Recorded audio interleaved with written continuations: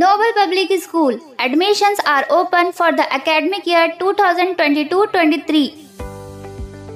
Hello everyone Zubaan Nawaz के साथ आप देख रहे हैं फायर मीडिया न्यूज़ पिछले कई दिनों से हो रही मुसलसिल मौसलाधार बारिश के कारण, जहाँ पर सारे छोटे बड़े कारोबार ठप हो चुके हैं, वहीं पर बसो कल्याण के अलग अलग सलम इलाक़ों में ज़्यादा बारिश के कारण सलम इलाक़ों में रहने वाले लोगों के घरों में बारिश का पानी चला गया है।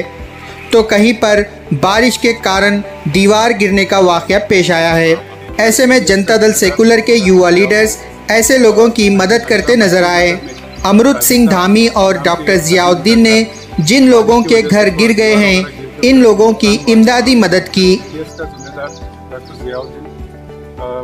महिला नगर में राजेश साहब नाम के आदमी उनका घर बारिश की वजह से थोड़ा दीवार वगैरह गिर के उनका नुकसान हुआ है।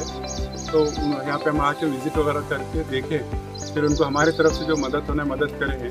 अब हमारा एक, डिमांड है कि एक प्रशासन को पशु कल्याण के जो कारपोरेशन है और एमएलए साहब को एक डिमांड है कि ऐसे जितने भी कच्चे मकाना थे उनको आइडेंटिफाई करके ये मौसम में कम से कम उनको दूसरे तरफ़ कहीं रहने के मदद करे या उनके घरों का जायज़ा लेके क्या हालत में है क्या नहीं उसका थोड़ा कल्याण में करने की कोशिश करें जल्द से जल्द जल्द से जल्द लोगों को मदद करने की